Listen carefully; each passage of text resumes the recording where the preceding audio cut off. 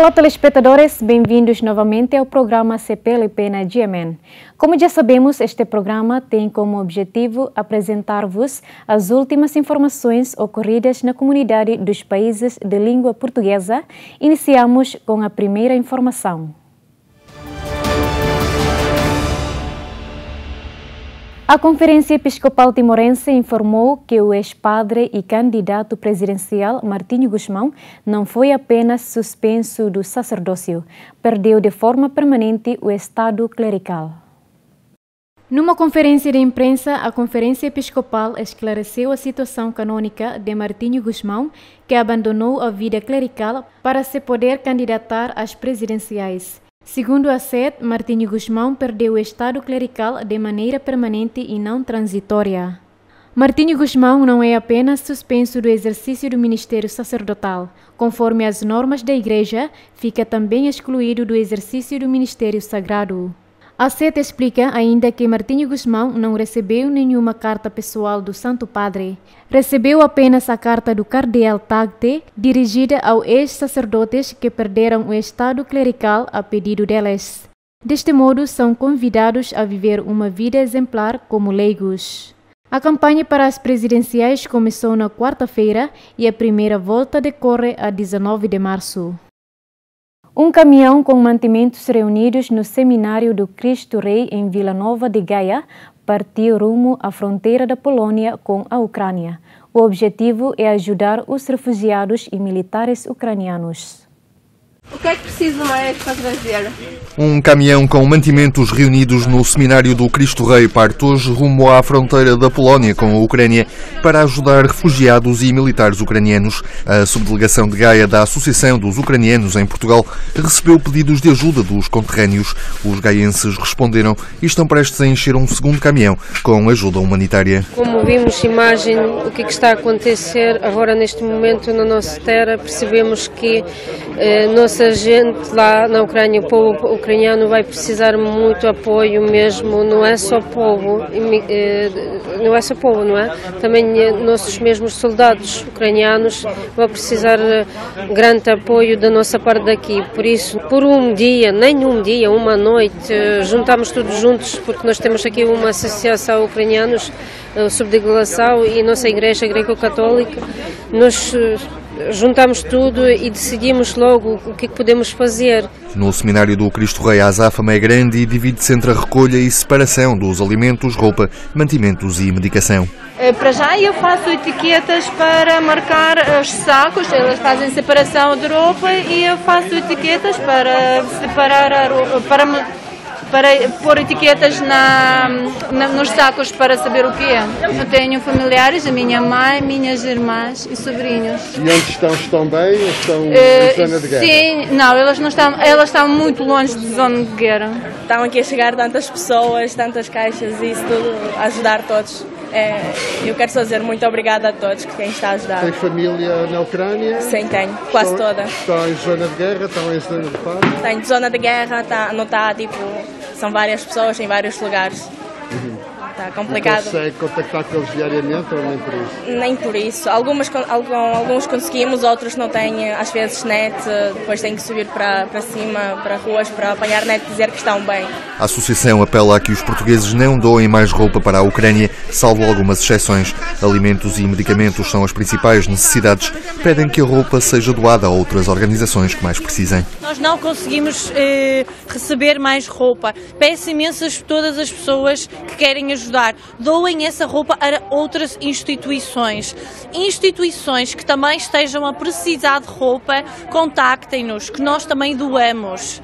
Eh, de momento, aquilo que mais estamos a precisar continuam a ser os medicamentos, eh, primeiros socorros, eh, os kits de primeiros socorros, powerbanks, pilhas, lanternas. Estamos a precisar também de tapete de campismo chamado yoga. Uh, precisamos também de roupa interior térmica e meias. Isso é, são únicas peças assim, de roupa que nós ainda aceitamos que é possível passar para a Ucrânia. A Associação dos Ucranianos em Portugal deixa ainda um apelo à TAP e a outras linhas aéreas para que disponibilizem voos para o transporte de refugiados para Portugal e para o envio de ajuda humanitária às fronteiras da Ucrânia. A Câmara de Lisboa vai abrir o refeitório municipal de Monsanto para apoiar ucranianos retidos na cidade. Vai criar também um centro de acolhimento de emergência para refugiados da Ucrânia num pavilhão da Polícia Municipal. Primeiro temos uma linha telefónica que vai ser já, que está a funcionar, que é o 800 910 111. Eu repito, 800 910 111 e um endereço de e-mail sosucrania.cm-lisboa.pt para todos aqueles que queiram nos contactem de imediato. Portanto, eu repito a todos os ucranianos que estão em Lisboa, que precisam de ajuda, ou aqueles que têm familiares que precisam de ajuda. Temos um número de telefone que vai fazer, no fundo, este contacto entre aqueles que precisam de ajuda, mas também aqueles que querem ajudar e não sabem como. 800 910 111. Para quê? Para darmos um apoio imediato, e, e, aqui com a equipa já o temos preparado, um apoio imediato, primeiro de alimentação, aqueles que precisarem de alimentação, aqueles que precisam de alojamento, aqueles que precisam de vestuário, aqueles que precisam de medicação, de apoio psicossocial, podem imediatamente telefonar. Uma das medidas imediatas vai ser a abertura do refeitório municipal de Monsanto para fornecer refeições aos ucranianos que estão retidos em Portugal. Portanto, aqueles que estão hoje em Portugal, que não tenham onde recorrer, precisem de medicamentos, que precisam de ter uma uh, refeição, uh, a senhora uh, diretora Margarida Castro Martins já vai pôr em funcionamento aquilo que é o refeitório municipal de Monsanto para este efeito. Depois, a organização dos donativos. Eu próprio, durante este fim de semana, tive muitas pessoas que querem doar, que querem ajudar e não sabem como. E, portanto, nós vamos organizar os donativos, vamos organizar os donativos do ponto de vista telefónico, de e-mail, mas também físico. Este edifício onde estamos é um edifício da cidade e para a cidade. E, portanto, quem quiser e que numa fase inicial tenha alguns bens a doar, Primeiro, obviamente, contacte, mas poderá aqui no edifício dos Passos de Conselho vir trazer essas doações que depois são encaminhadas através da senhora embaixadora, através da equipa de missão. E, finalmente, numa segunda fase, aquilo que é importante é realmente antecipar. A deslocação de refugiados é clara, nós estamos a ver o que se está a passar já na fronteira com a Polónia e com a Roménia, e, portanto, nós decidimos imediatamente fazer e construir, dentro daquilo que podemos, que é um centro de acolhimento temporário para os refugiados que vão chegar. Esse centro de acolhimento de emergência para refugiados vai ser num pavilhão desportivo que temos disponível naquilo que é a sede da Polícia Municipal de Lisboa. A embaixadora da Ucrânia em Portugal pediu apoio do governo português na adesão do país à União Europeia. Considera ainda a possibilidade de romper relações com a Rússia. Gostaríamos uh, solicitar da, da uh, parte uh, portuguesa que Portugal vai ajudar a nossa iniciativa que anunciou já o nosso presidente sobre adesão à Ucrânia à União Europeia e no próximo tempo será a possibilidade de aderir à Ucrânia à União Europeia como, como estatuto de uh, candidato para um membro, como um membro da União Europeia.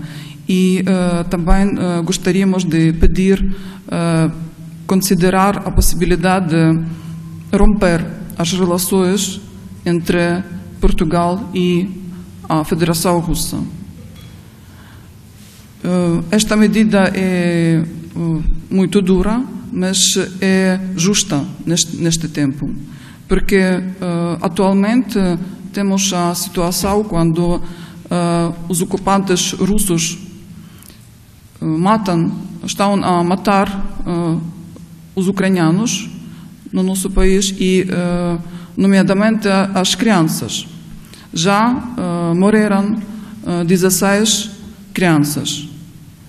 E uh, também posso dizer que o nosso exército luta muito bem, mas precisamos também a ajuda da parte da União Europeia e neste contexto eu gostaria de agradecer Portugal pela assistência militar, assistência na fornecimento dos materiais militares.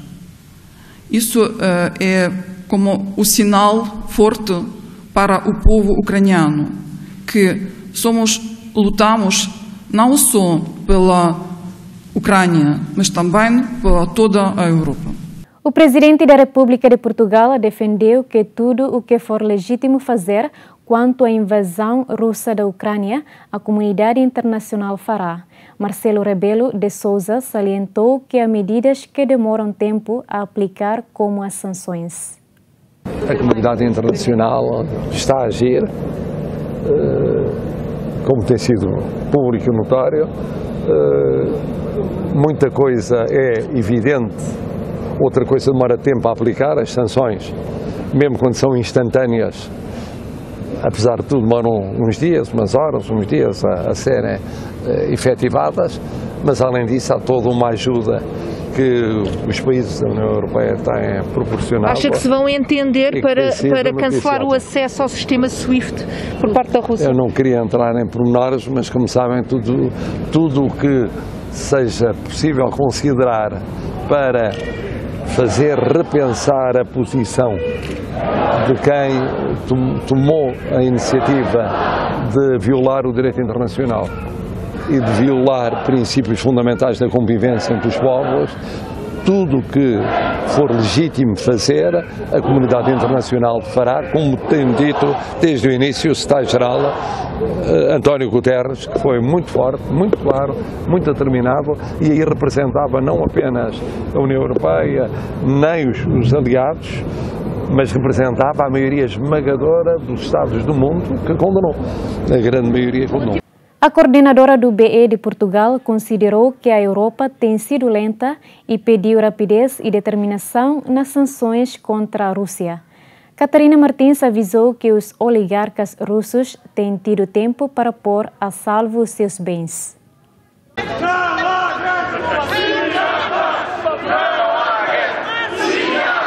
É importante que em todo o mundo os povos se levantem a dizer não à guerra, a dizer que a invasão russa à Ucrânia tem de parar e que é inaceitável.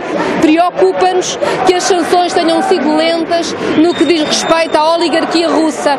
Putin é apoiado por oligarcas e os oligarcas têm tido todo o tempo do mundo para pôr o seu dinheiro e os seus bens longe das sanções. A comunidade internacional não pode continuar a assistir e apenas limitar-se a aplicar sanções económicas. Elas são importantes, mas não são suficientes para travar o massacre que está a acontecer contra o povo ucraniano.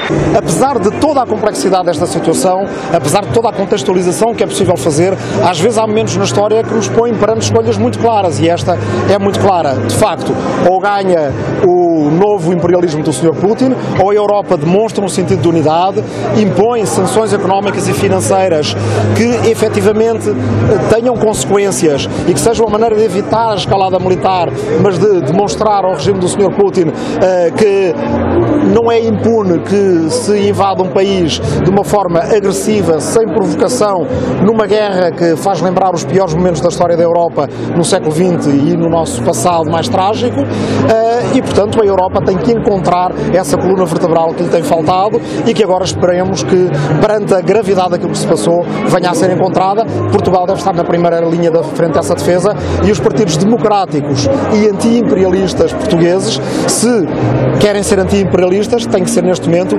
inimigos da estratégia do Sr. Putin. É preciso que nós consigamos superar as diferenças não só entre partidos, mas também entre países e que todos nós nos unamos para conseguirmos ter sanções mais fortes e uma ação mais forte para conseguir travar esta invasão. Não podemos permitir que um Estado independente e soberano seja invadido desta maneira e que sejam feitos ataques contra civis. E é isso que nós queremos aqui transmitir uma mensagem de união e de solidariedade.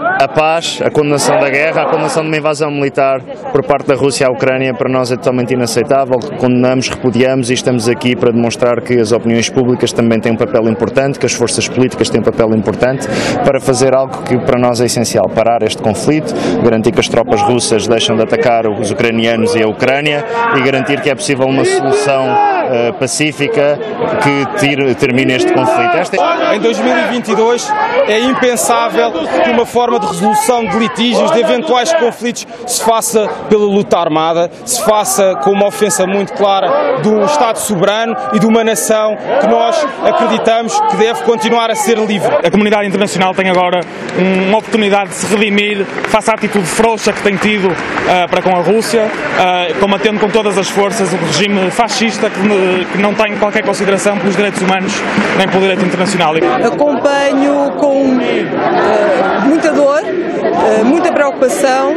Nossos ucranianos sabemos muito bem que o Putin não vai parar por ali. Uh, tem todo, como o ditador que é, tem feito uma guerra terrorista, portanto ele já deixou de ser apenas um ditador, ele é um terrorista. A maneira como ele está a atacar os civis é revoltante, portanto ultrapassa completamente aquilo que é minimamente aceitável, se é que uma guerra é aceitável, o que é que se pode fazer em cenário de guerra. Eu tenho uma grande preocupação, é que isto pode explotar uma terceira guerra mundial.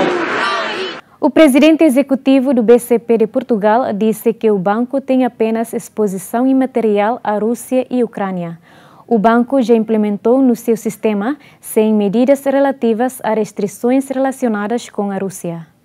O, o, o BCP não tem qualquer exposição, nem o BCP, nem o banco na Polónia. Portanto, o grupo não tem eh, qualquer, qualquer exposição. Mesmo contando eh, com a dívida corporate, a exposição é absolutamente eh, imaterial, eh, quer a partir de Portugal, quer a partir das operações estrangeiras. Portanto, desse ponto de vista, do ponto de vista de risco de crédito, não há nenhum motivo para, para preocupação. Nós não temos praticamente uh, uh, relações ativas com bancos russos ou ucranianos. As, as, as relações uh, com, com os bancos destes, destes, países são muito reduzidas. Aliás, implementámos imediatamente as sanções. Temos cerca de com bancos SWIFT ativos temos, eh, creio que, duas eh, situações e nessas eh, duas situações são até com bancos que são filiais de bancos europeus e, portanto, estamos perfeitamente tranquilos. E, além da dívida soberana e da dívida da Corte, corporate também acrescento que não temos sequer linhas de mercado monetário com bancos destas geografias e, portanto, estamos numa situação muito, muito, muito confortável. Três irmãos albinos encararam os piores dissabores ao ingressar no ensino em Tucutucu, no interior de Moçambique. O albinismo muda a pigmentação da pele e obriga a cuidados redobrados a quem fica com a pele mais clara. Não é um problema para mais ninguém, mas no centro de Moçambique a população não lida bem com a diferença. Paakaenda kobara mwana umu paakabuda kwa mwana sati ndaona khala iyi yosubuda Criou-se uma tradição de que o albinismo traz azar. Uma crença tão forte que estes três irmãos sofreram para poderem entrar na escola. As crianças fugiam delas. Outras crianças riam-se. Outras até aproximavam para bater. Então nós sempre íamos chamando a atenção que não podem fazer isso. E agora já não fazem esse tipo de ato. Já são todas unidas, brincam juntos, já não insultam, já não preferem palavras injuriosas e muito mais. Pese embora já um trabalho feito é, com as comunidades, nós sentimos que ainda há muito para se fazer. O albinismo é só uma das faces visíveis da discriminação que também afeta outras crianças diferentes, como Luke, com dificuldades de visão. A criança está, está aprendendo, mas seria melhor que a criança esteja numa escola de braille, né? Para aprender melhor.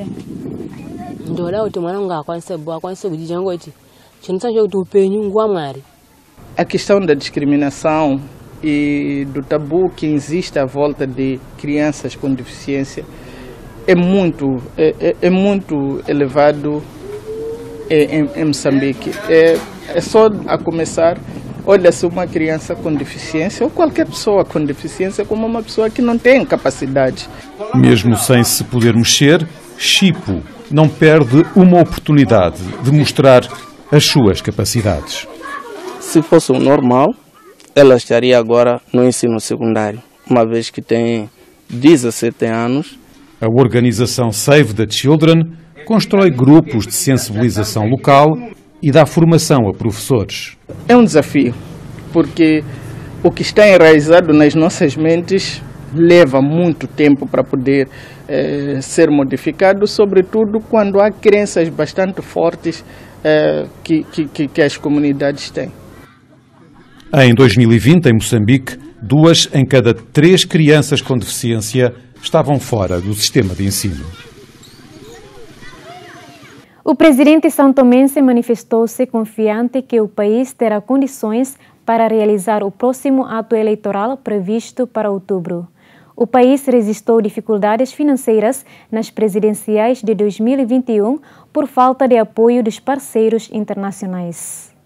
Nós tivemos o meio ano de 2021, o segundo semestre, todo preenchido com as eleições presidenciais. Isso também foi uma atividade suplementar, extra, de preocupação também para o governo. E agora, no início deste ano, tivemos eh, o Orçamento Geral do Estado, que agora promulgado e publicado, então esperemos que, doravante, já possa haver eh, mais dinâmica, porque a própria remodelação também, eh, a tão desejada, constitui uma nova dinâmica para a implementação dessas ações e espero sim, acompanharei cuidadosamente todas as ações no sentido de melhorarmos as coisas em São Tomé e Príncipe. Eu creio que neste momento, em termos de sensibilização, já começa a haver uma maior assunção do que é a responsabilidade e o poder da justiça e a perseverança com que o chefe de Estado, portanto, quer levar esse assunto e quer tratar. Eu continuarei a passos que continuarão a ser dados, tudo no sentido de nós conseguirmos a tão almejada modernização da justiça, que é preciso fazê-la porque nós temos que ter uma justiça uh, que faça, que seja feita em nome uh, do povo, uma justiça que sirva à nação e não uma justiça que uh, esteja aí apenas para fazer de contas e servir interesses pessoais e de grupos. Portanto, continuarei a lutar por isso e vamos continuar a trabalhar com os parceiros, com todos, quando digo parceiros, são os de dentro e os de fora, que são todos necessários, e levarmos adiante eh, esta, este, este, este dossiê, que é um dos grandes males que enfermam o nosso país. O tempo ainda nos permite fazer essa reflexão. É verdade que eh, ele vai passando. Daqui a um bocado já são cinco meses que eu estou em funções. Mas eh, eu creio que eh, brevemente, dentro da maior brevidade, nós conseguiremos tomar a decisão relativamente à presidência da CPLP. O secretário executivo da Organização da Jornada Mundial da Juventude Lisboa 2023 considera que o encontro com o Papa é incomparável a tudo o que já fez no país. A Jornada Mundial da Juventude de 2023 em Lisboa vai deixar marca nos jovens portugueses. Quem o diz é o secretário executivo da organização, para quem o evento será um desafio, pelo menos para os voluntários, de uma dimensão incomparável com qualquer outro evento em que tenham trabalhado em Portugal. É único, portanto, organizar, até porque nós nunca, ou seja, todas as pessoas que estão a organizar a Jornada Mundial da Juventude de Lisboa nunca organizaram outra Jornada Mundial da Juventude. E é um evento que não é comparável em termos de dimensão outras coisas que, que, que, se fizeram. E, portanto, temos pessoas com prática em organizar eventos, temos pessoas com, com prática em gestão, temos pessoas com muita prática também na parte pastoral, artística, na logística, etc. Mas nunca nenhum de nós preparou esta jornada. Organizada pela Igreja Católica, a Jornada Mundial da Juventude não confirma, mas espera uma visita do Papa Francisco. De qualquer forma, a organização acredita que o evento terá de ser muito mais que os dias do Papa em Portugal. A jornada tem que ser muito mais do que aqueles cinco dias em que o Papa está cá, ou quatro dias o Papa está cá, e aquilo que vivemos naquela semana. Acho acho que há duas coisas que vão transformar, eh, esperemos nós, a juventude portuguesa e, e com esse objetivo trabalhamos.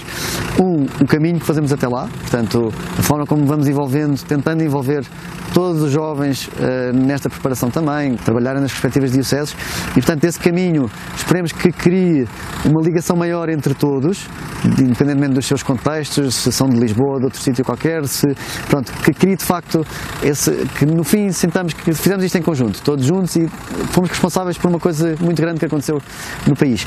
E depois a própria semana em si, acho que vai ser transformadora até para aqueles que se calhar até lá nunca ouviram falar da jornada. O número de participantes na jornada é esperado acima do milhão e não seria surpreendente se ultrapassasse um milhão e meio. Os voluntários estarão alojados entre três dioceses de acolhimento em Lisboa, Santarém e Setúbal, mas a Covid-19 tem baralhado as contas. Antes do Covid, nós olhávamos para Cracóvia e para Madrid, que foram as duas últimas jornadas na Europa, e achávamos que íamos estar mais ou menos nesse intervalo, portanto, alguns ali no meio.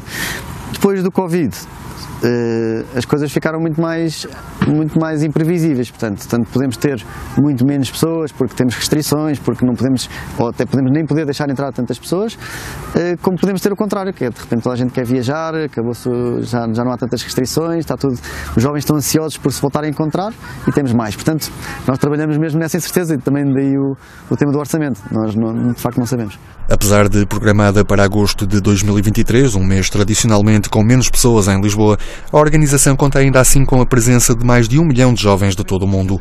Toda a capital portuguesa terá atividades relacionadas com a jornada, com o recinto junto ao Tejo, a norte do Parque das Nações, a ser o centro dos últimos dois dias. O presidente não executivo do BCP de Portugal disse que a administração defende o retomar do pagamento de dividendos. Contudo, vai propor a distribuição de um valor moderado face a 2021. Uh, nós entendemos que seria bom retomar o pagamento de dividendos eh, relacionados com os resultados de 2021, mas vamos tê-lo que o fazer de uma forma muito moderada, por diversas razões, mas a atual situação, eh, obviamente, que não ajuda. Portanto, a nossa intenção é um, voltar aos dividendos, mas repito, de uma forma bastante moderada e uh, isso terá. Uh, obviamente, uma, um epílogo com a apresentação de proposta da Assembleia Geral que vai ocorrer em abril, porque prevemos que a Assembleia Geral se, ou, tenha lugar no início de maio. E, portanto, sobre dividendos é, é, é esta a resposta. Penso que é, é consensual uh, este tema entre a Comissão Executiva e o Conselho de Administração, mas vai caber aos, aos acionistas, na reunião da Assembleia Geral, tomarem a decisão final. O evento decorreu no passado sábado, apesar do cancelamento dos habituais desfiles devido à pandemia de Covid-19.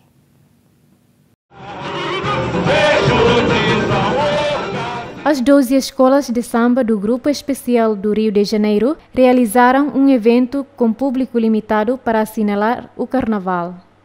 O evento aconteceu na cidade do Samba, é um espaço onde os grupos artísticos costumam preparar as suas coreografias, figurinos e carros alegóricos. É normalmente considerado um aperitivo para o carnaval. Os blocos do Cacique de Ramos e da Bola Preta foram os responsáveis pela abertura dos desfiles deste sábado. Contou com a presença de percussionistas, dançarinos e músicos das escolas. Em vez dos milhares de participantes que costumam comparecer a cada formação no Sambódromo, as escolas apresentaram desta vez apenas 150 membros. Já o público teve de apresentar o comprovativo de vacinação. O aumento de casos devido à variante Omicron nos últimos meses obrigou a maioria das cidades a cancelar a programação do carnaval.